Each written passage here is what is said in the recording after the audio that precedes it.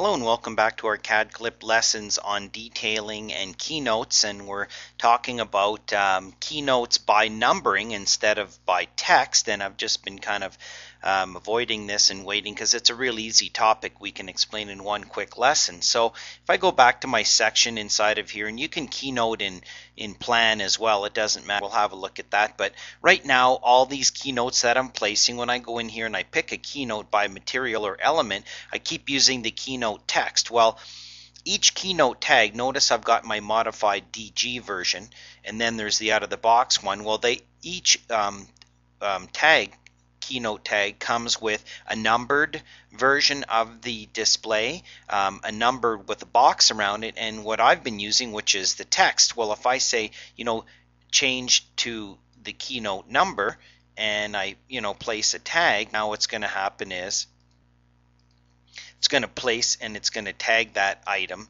by number instead. So anytime you want, you can actually grab these keynotes and go over to here and say, oh, tag that by number instead because it has a number and a piece of text. When we double click inside of here and we go to our keynote file, okay, there's the number and then there's the information. Okay, they all have that. So which one do you want to display? And the third option is a number with a box around it. Okay, so all keynotes can have um, text placement, they can have text with or number with a box, and they can have just the number. Okay, so we can go through in our in the big picture and grab all these and use our filter button and say check uncheck all and go back to keynotes and hit OK and say okay all the keynotes are by keynote number and they'll all change. Okay or their number with a box or their number or they're just text okay so some of them need to be uh, still linked up here. But we have that option, and we can do that in plan as well. We can go to level 1. Okay, I can go inside of here, grab all these keynotes over here, and do my filter. Only keynotes, thank you.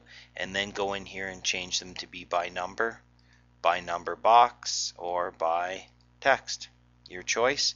And then of course you can use your grips and stuff to move these around and straighten them out and stuff like that.